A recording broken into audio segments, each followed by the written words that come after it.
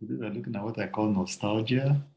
And we start with the song, I'm born again, a brand new man, not by my power, by the power of God. when you made that commitment, you don't want to go back to your vomit. And of course, a good example that we have, which is also very interesting, but also humorous and tragic, is what you actually find in Numbers chapter 14. It's Numbers 11, verse 4. Now the mixed multitude who were among them yielded to intense craving so the children of Israel also wept again and said, Who will give us meat to eat? We remember the fish which we ate freely in Egypt, the cucumbers, the melons, the leeks, the onions, and the garlic. But now our whole being is dried up. There's nothing at all except this manna before our eyes. Just to give a bit of context, these guys were you know, enslaved in Egypt. You know, they were suffering tremendously. You know, and uh, they cried out, and God sent, you know, a savior, you know, and they were able to actually exit Egypt.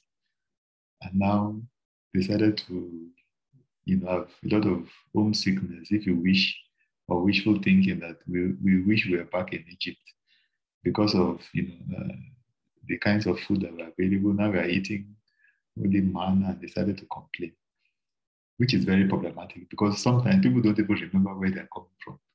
You know, uh, so if you made a commitment to the Lord and you start to look back on your you know past life and you think you're enjoying, you're, you're having the same kind of behavior, which is horrible, which, shows that we're not grateful. So we need to be uh, very positive. We look at the glass as half full, not glass, not as not half empty.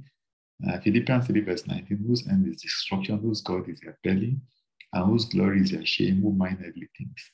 So when you start to, you know, uh, crave for your past life, you know, thinking that, you know, it was, you know, bright and shiny, and that, you know, your present life as a believer is, you know, dull. In fact, you're not looking at the entire picture of what God saved you from. Maybe by now you would even be dead and buried because of the life of sin that you were living.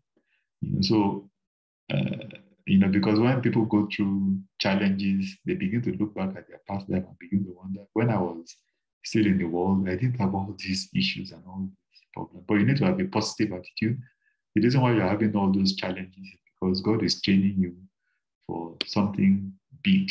And you need to have that positive attitude and continue the faith. Those that wish for your past life. You know, that does that didn't get you anywhere. You know, move forward uh, in faith and fulfill your ministry.